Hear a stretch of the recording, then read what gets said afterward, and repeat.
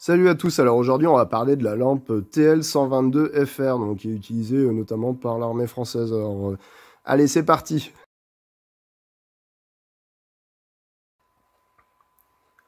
Alors vous voyez, souvent je fais des vidéos sur des, surplus militaires, parce que bon, généralement c'est très bonne qualité, c'est durable, et en plus c'est pas très cher.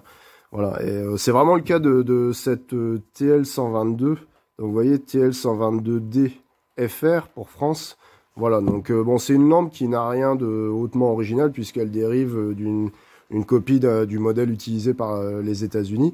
Voilà, donc c'est vrai que souvent je dis du bien des surplus militaires. Aujourd'hui, ce sera peut-être pas tout à fait pareil.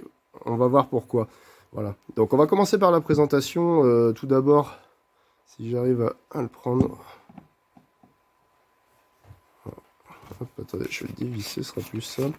Donc on voit que tout est, jointé de caoutchouc pour qu'elle soit bien, étanche. Voilà, donc en dessous, on voit il y a le, magasin à filtre. Donc en fait, vous voyez, ça se dévisse en deux parties et on va trouver les différents fils, donc le filtre rouge, le filtre bleu et le filtre blanc. Voilà. Alors ça, ça se met dans le magasin à filtre. Alors ce qui n'est déjà pas très pratique, vous voyez, parce que si on compare avec euh, des lampes euh, d'autres pays, par exemple ici l'armée suisse, vous voyez, vous avez des filtres que vous pouvez mettre euh, directement, sans avoir besoin de, tout démonter. vous voyez là, c'est pas, pas du tout pratique en fait.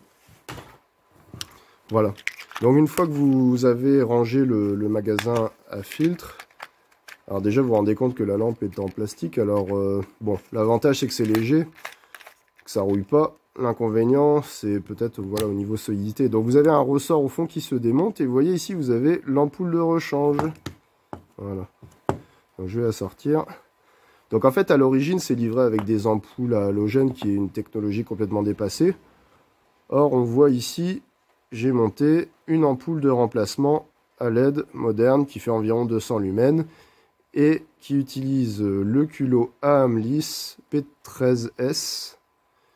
Voilà, donc c'est un peu l'autre grande référence. Vous avez le, culot Avis E10 et le culot LIS P13S.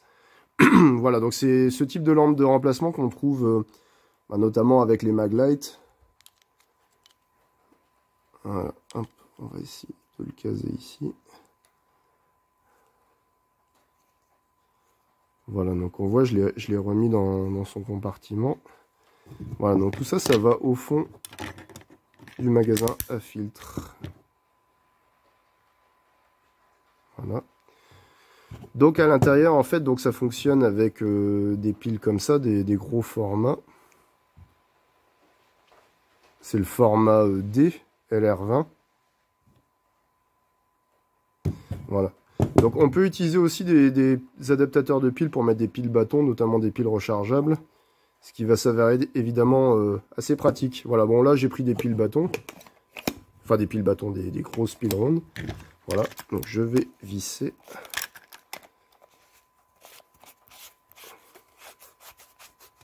Voilà. Donc on voit que c'est une pile qui a un corps en, plastique. Alors, comment dire, la, la lampe de base est assez légère. Le problème, c'est que bah, une fois qu'on la charge avec ses piles, légère, elle ne l'est plus.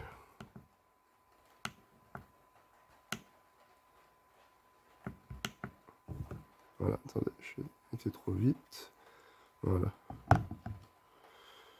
Vous voyez, 431 grammes, euh, une fois chargé avec les piles, vous voyez, c'est plus, plus si léger que ça. Vous voyez, si on compare... Euh, si on compare avec des lampes euh, d'autres pays, bon là j'ai une Suisse par exemple, vous voyez 246 grammes, voilà on est, quasiment deux fois plus lourd euh, pour la, même fonction.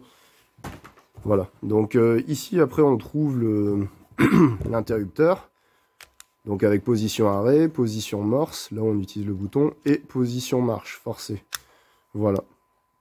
Ensuite, ici donc vous avez le, bouchon qui est en une première partie pour mettre les filtres les filtres de couleur tout simplement. Vous voyez, ça oblige à démonter à chaque fois, c'est pas hyper pratique. Et ensuite, on voit avec le joint d'étanchéité, la zone, la zone avec l'ampoule. Donc on a une, base ici qui se visse et on peut mettre sa P13S. Voilà.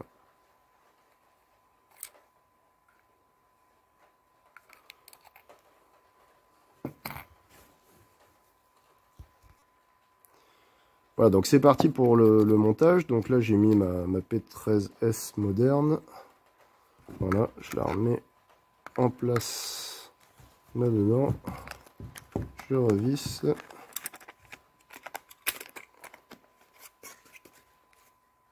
Voilà. Donc on voit avec une ampoule de modernisation à LED. Voilà. Alors, est-ce que cette lampe est bien euh, Enfin, voilà, pas tellement en fait. Euh, si vous regardez sur eBay, vous allez en trouver plein en vente et euh, elle se trouve assez facilement. Mais en fait, la moitié des modèles qui sont mis en vente sont en panne en fait. Voilà, c'est une lampe qui est connue pour ses problèmes de faux contact. Alors, souvent les gens disent que ça vient de l'interrupteur. En réalité, je suis pas certain que ça vienne de là. Voilà, donc c'est une lampe que j'ai utilisée pendant un an, elle a fonctionné parfaitement. Après l'année suivante, j'avais beaucoup de faux contacts, et puis maintenant, elle ne fonctionne même plus du tout, alors que l'ampoule est neuve, j'en ai remis une deuxième. Voilà. Donc euh, voilà, si je ne sais pas quel est le problème de cette ampoule, j'ai fait des recherches pour savoir comment on pouvait régler ce problème de faux contact, et euh, bah, malheureusement, j'ai rien trouvé. J'ai commencé un peu à la à regarder un petit peu comment on pouvait la, modifier, la bricoler pour qu'elle fonctionne, et pour l'instant, j'ai pas encore trouvé. Hein.